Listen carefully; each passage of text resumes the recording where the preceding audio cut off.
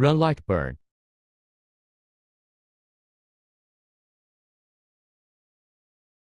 Add device for first use. Click Find My Laser. Be sure your device is connected via USB and click Next.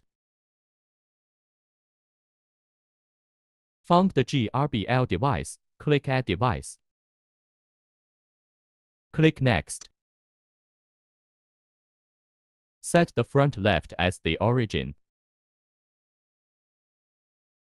Do not use auto home. Before use, you need to move the laser head to the front left corner.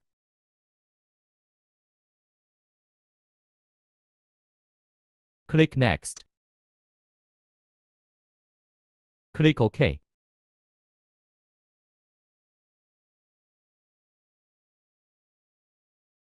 No automatic connection. Need to restart the software.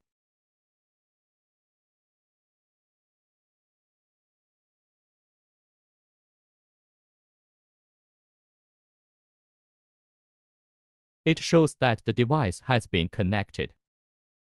If the version number is lower than 2.09, please contact us to update the firmware, because the previous version firmware is not compatible with Lightburn software.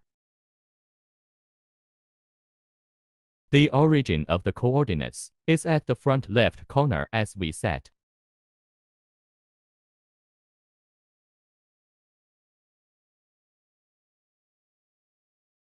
Add common macros below.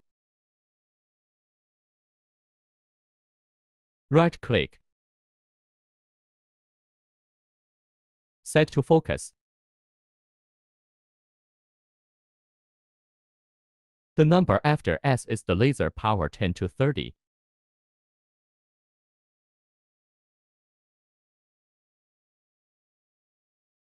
Set to off.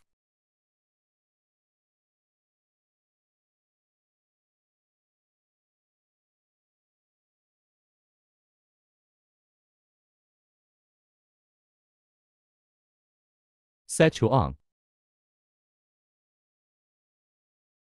The number after S is the laser power. The maximum is 1000.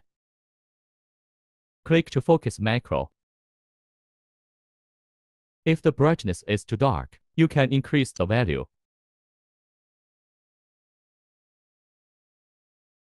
Click the focus again.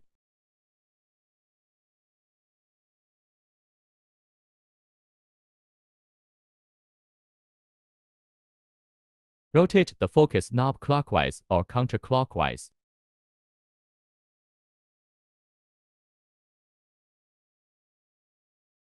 Rotate the focus knob until the spot is minimized.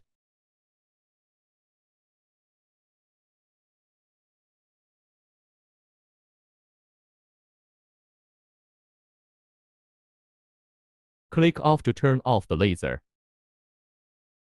Click on to turn on the laser. You can adjust the number behind S to change the power. The maximum is 1000. Click off to turn off the laser. The following test engraves a rectangle.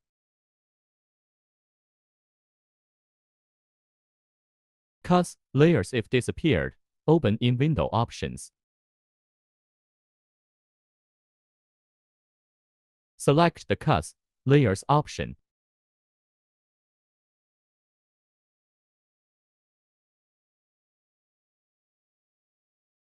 Adjust the engraving speed. Attention unit.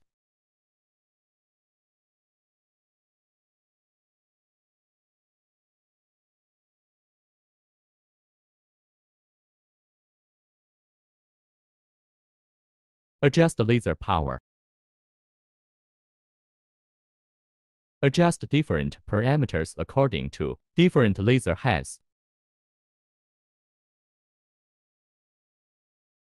Click the Start button. The machine starts working.